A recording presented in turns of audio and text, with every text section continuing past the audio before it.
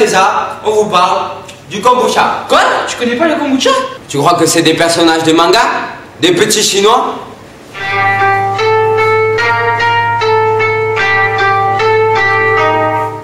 Eh ben non. Moi je sais, moi je sais Qu'est-ce qu'il fait là lui? Attends, pousse-toi. Qu'est-ce que tu Voilà. Hein? Hop là. Go. On remet la bouteille. Je vais vous expliquer le kombucha. Non, le kombucha, littéralement. La mineure de thé est une boisson acidulée obtenue par le biais d'une culture symbiotique de bactéries et de levures telles que le, sacam, le Saccharomyces, du Luigi, acétobactère xylinium et le gluconobactère. Oh Comme rien Allez, vas-y, Sors, sors, sors, sors, sors, sors, s'il te sors. plaît, là, parce que. Mais pourquoi tu te vexes? Pour en savoir plus, direction les labos. Magnéto. Le kombucha est une boisson traditionnelle principalement artisanale. D'origine chinoise, elle se prépare en faisant fermenter du thé sucré à partir d'une souche de micro-organismes. Pour faire du kombucha, il vous faut de l'eau, du thé, du sucre et une souche de kombucha appelée mer. Prenez un litre d'eau, y ajoutez 90 g de sucre et 5 g de thé. Faites bouillir le tout, laissez infuser. Au bout de 15 minutes, filtrez, acidifiez et y placez délicatement la souche. Attendez une dizaine de jours et votre boisson fermentée aux vertus bénéfiques pour la santé est prête. Et oui, le kombucha, c'est bon pour la santé, riche en probiotiques. Il contient de l'acide acétique, de l'acide lactique et de l'acide gluconique. De la vitamine C, de la vitamine B12, de la caféine, du glucose. Mais c'est louche quand même. Euh, comment ça se fait qu'un cocktail comme ça, ça existe? Euh, attends, euh, je pense qu'on va demander plus à notre envoyé spécial peut-être. Non Peut-être qu'il sait mieux que ça que nous. hein. Tu penses aussi Hein? Bah, Allez, il est où? Il est... Attends, il est où? Eh oh, eh oh, je suis là Bien. Bonjour à tous. Ici tous actifs à l'atelier dosage du glucose. En effet, le glucose est la molécule de base pour cette fermentation. D'après nos prévisions, la concentration de glucose devrait diminuer.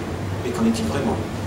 Pouvez-vous nous en dire plus? Alors oui, le glucose est dosé par spectrophotométrie grâce à l'enzyme glucose oxydase. La coloration est proportionnelle à la concentration de glucose. Par comparaison avec un étalon, on trouvera la concentration exacte de notre échantillon. D'après nos résultats, la concentration diminue en fonction du temps et en parallèle, l'acidité augmente. Merci pour ces informations. Maintenant, allons voir ce qu'il en est avec leurs collaborateurs. Nous sommes les collaborateurs. Ici, nous suivons l'acidité de- du kombucha en fonction du temps.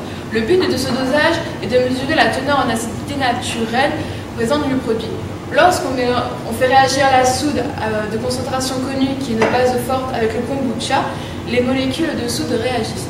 Il apparaît alors le virage de l'indicateur coloré. Nous avons le volume à l'équivalence. Il ne reste plus qu'à faire un savant calcul pour avoir, la pour avoir les mesures de la concentration de tous les acides naturels. Après, il existe des techniques d'analyse beaucoup plus rapides et automatisées. Notre partenaire de l'ICV utilise un automate pour mesurer la- l'acidité des boissons fermentées.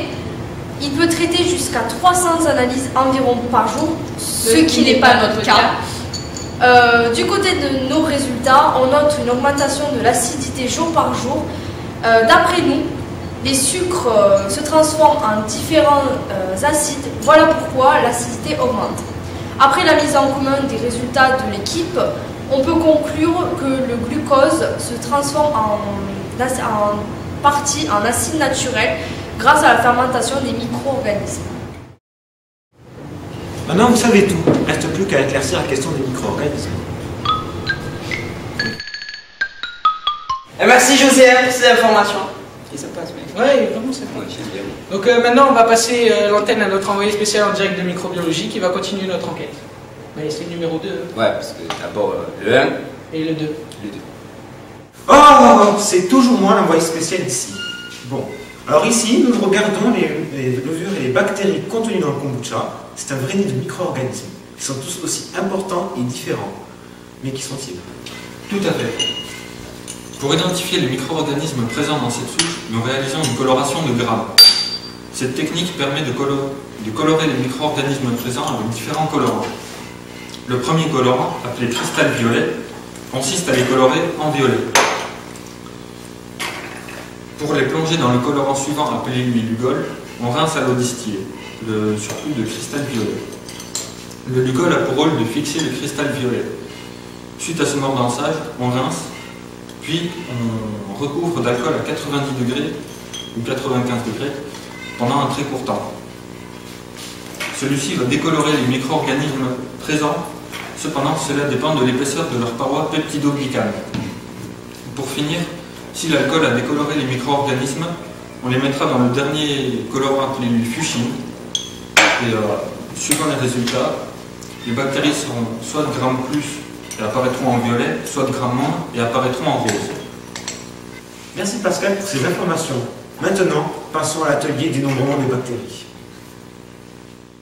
Voilà maintenant à l'atelier dénombrement des bactéries. C'est un travail fastidieux pour les techniciennes. Mais à quoi cela consiste-t-il? Le dénombrement consiste à déterminer le nombre de micro-organismes contenus dans le kombucha. Nous sommes partis d'une estimation de 10 puissance 7 micro-organismes dans un millilitre. Pour rendre ces résultats mesurables, nous avons réalisé plusieurs dilutions et nous avons réalisé ces opérations au jour 2 et au jour 14 afin de réaliser un suivi des micro-organismes. Ensuite, nous avons ensemencé différentes boîtes de pétri en prenant 0,1 ml de kombucha de chaque dilution à l'aide d'un râteau. Nous avons incubé les boîtes de 24 à 48 heures et maintenant, grâce au comptage, on peut déterminer le nombre de colonies présentes dans le kombucha en prenant en compte le facteur de dilution. D'après nos résultats, le nombre de micro-organismes diminue entre le jour 2 et le jour 14. On pense que l'épuisement du milieu favorise la diminution du nombre de micro-organismes. Merci les filles. Maintenant, tout est beaucoup plus clair. En résumé, le kombucha est une véritable usine biochimique. Les micro-organismes produisent de multiples molécules pendant la fermentation. Malgré son aspect douteux, il est goûteux. C'était José sur Canal Tésa, à vous l'antenne. Bon, ben, je pense que vous avez tout compris sur le kombucha. Oui, je pense qu'on a tout dit, oui. Ouais. Donc, euh, une dernière chose à vous dire, euh, restez curieux. Voilà. Et surtout, adopte un kombucha. Moi aussi j'en veux, regarde, moi aussi j'en veux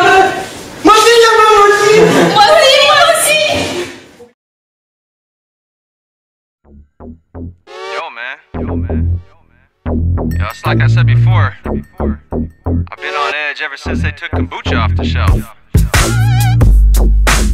But it's back though, in a real way. I'm just trying to enjoy a nice fermented beverage, you know.